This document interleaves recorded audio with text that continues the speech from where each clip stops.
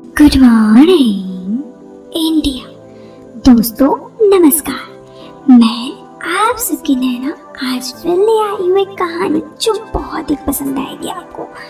तो दोस्तों, आज की कहानी एक ऐसी लड़की और लड़के की है जिन्हें टीनेज में प्यार हो जाता है, लेकिन जब घर वालों को पता चलता है तो उनके साथ कुछ बुरा होता है। क्या जानने के लिए चलिए पूरी कहानी को देखिएगा। लेकिन दोस्तों, अगर कहानी पसंद आए तो वीडियो को लाइक कीजिएगा। ये जो ग्रे कलर है लाइक, उसको ब्लू कर दीजिएगा।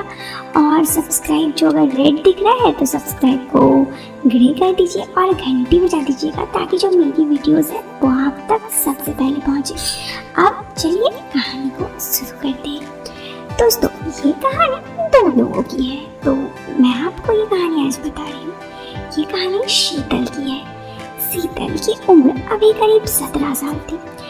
अभी अभी उसका इलेवेंथ शुरू हुआ था और फिर जैसे होता है, छोटी सी उम्र में प्यार वो शीतल के साथ भी था और उसका बॉयफ्रेंड जिसका नाम मुकेश था।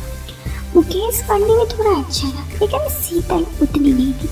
अब अच्छी थी, ऐसा नहीं कि एकदम अच्छी नहीं लेकिन हाँ उतनी पढ़ने में अच्छी नहीं थी। कुछ दिन समय गुजरा तो दोनों के प्यार के चर्चे भी बढ़े। और जब प्यार के चर्चे ये बढ़े तो कहते हैं ना कि ये प्यार है जनाब, छुपाए नहीं छुपता। और छुपाए तो नहीं छुपता कोई दिक्कत नहीं है।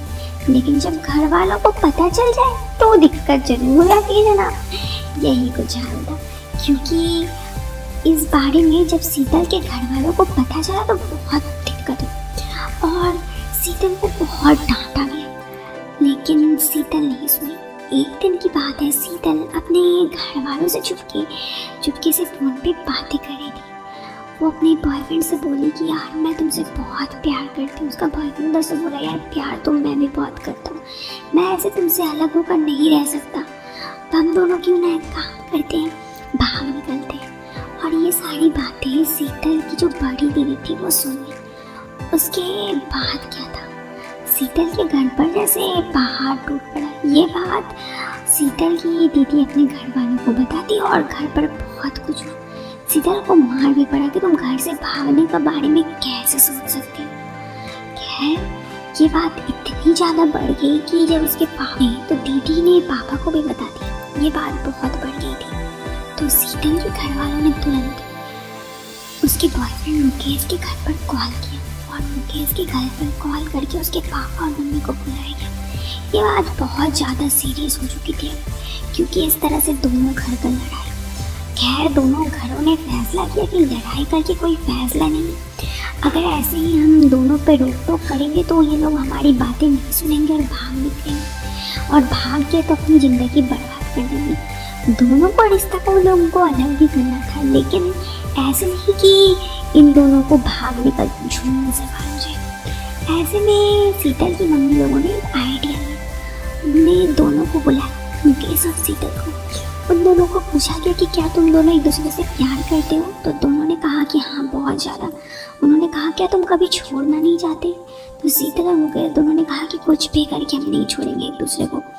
तो उसके मम्मी पापा ने कहा, ठीक है, हम तुम दोनों की शादी दे देंगे ये सुनकर शीतल और मुकेश की खुशी का ठिकाना नहीं था। दोनों इतना खुश थे कि जैसे उनका प्यार मिल गया। लेकिन उनके मम्मी पापा ने बहुत बड़ी शर्त रखी कि तुम दोनों को पहले, दोनों को ही अपने लाइफ में फोकस करना होगा, एक अच्छा लड़का, एक अच्छा इंसान बनना होगा और जिस दिन तुम ये करके अपने लाइफ में फोकस करके सेटल हो गए उस दिन तुम दोनों की शादी करवा देंगे। दोनों ने खूब सोचा, फिर उन्होंने, दोनों ने कहा, ठीक है दोनों के घर वालों को लगा कि अब इनका प्यार का भूत उतर जाएगा। क्योंकि जब दोनों एक दूसरे से दूर हो जाएँगे बातों बातों पे तो दोनों को क्या प्यार का भूत सब उतर जाएगा। और ऐसे ही होने लगा। शीतल भी मन लगाकर पढ़ाई करने लगी, उधर मुकेश दोनों के अच्छे नंबर आए, लेकिन अब दोनों अलग हो चुके थे।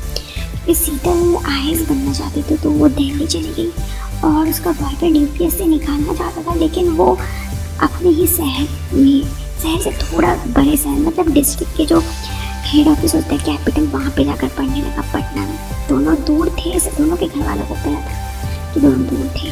और उन दोनों ने बहुत मेहनत की और पहली बार में दोनों ने जॉब निकाल दी।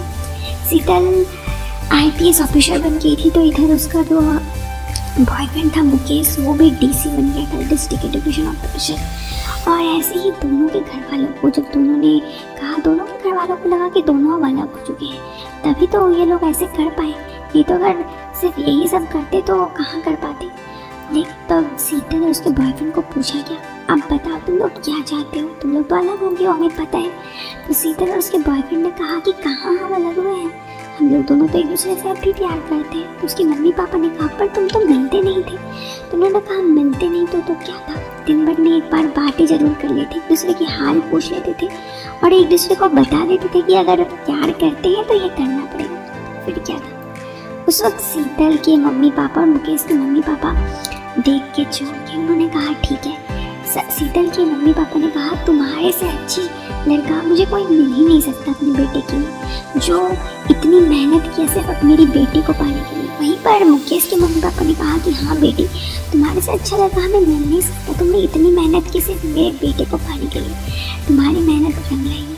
अब देखो, तुम दोनों साथ रहना। ज़िंदगी भर आप दोनों तुम दोनों की शादी करवा लेते उस वक्त सीता और उसके बॉयफ्रेंड बहुत खुश था, क्योंकि वो लोग जो चाहते थे वो उन्हें मिल चुका दोस्तों, इस कहानी से मैं आपको बताना चाहती हूँ कि अगर आप भी किसी से सच्चा प्यार करते हैं ना तो उस प्यार की कदर कीजिए थोड़ा सा टाइम दीजिए और जिस चीज़ पे आप फोकस करेंगे, आपको ज़रूर सक्सेस मिलेगा। बस ये सोचिए कि आपको वो काम करना है और करते रहिए देखिए आप लाइफ में सक्सेस ज़रूर होंगे। अगर आप ये सोचने में पड़ गए कि नहीं, ऐसा कुछ नहीं होगा, मैं हार जाऊँगा तो आप हार मान जाएँगे, इसलिए हार मत कम से कम अपने प्यार को साबित करने के लिए कुछ भी कीजिए।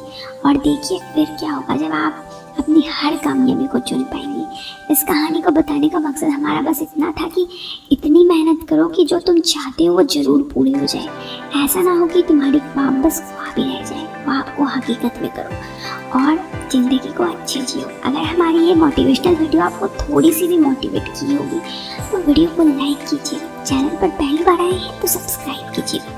हम आपसे मिलते हैं फिर एक नए वीडियो में। बाय दोस्तों। टेक केयर जय हिंद। वंदे मातरम।